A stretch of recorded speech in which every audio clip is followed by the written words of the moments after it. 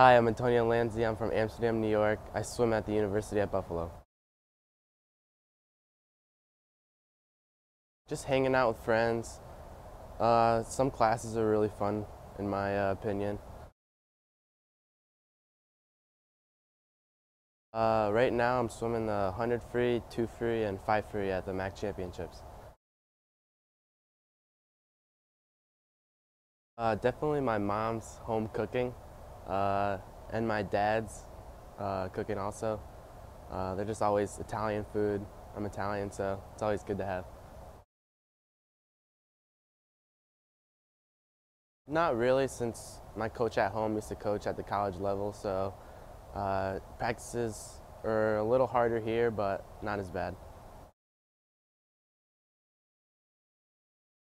Just like a good night's sleep, uh, listen to music, get me pumped up, um, talk to my teammates for a little while.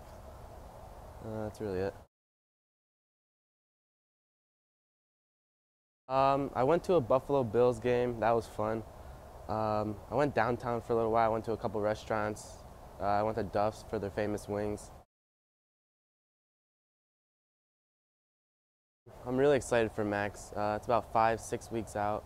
Uh, taper's going to start pretty soon. And um, I'm really excited, but kind of nervous at the same time.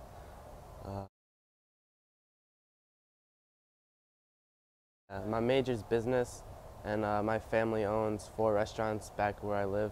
So I think I'm just going to take over the family business.